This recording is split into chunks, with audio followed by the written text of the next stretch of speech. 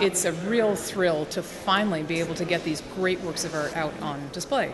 We've had a very tiny gallery uh, in the past, but could only show a few choice pieces, and it was in a location that was not of great interest to people. Were, it was on a, on a pathway going somewhere else. The Art of the Americas wing is telling the broader story of the arts of the Americas. It didn't just start with the coming of the pilgrims in the 17th century that in fact the art of the Americas started literally tens of thousands of years ago as human beings moved into the Western Hemisphere and developed these complex societies. So the story we're telling here is one of a much broader American art tradition.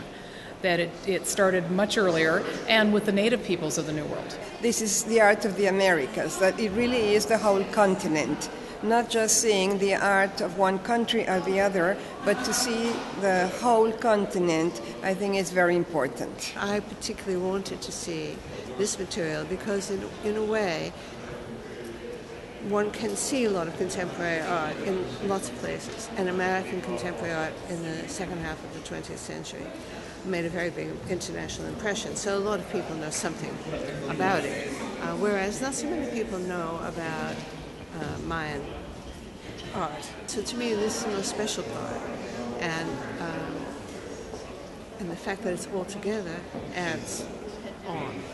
And I think that's something people will engage with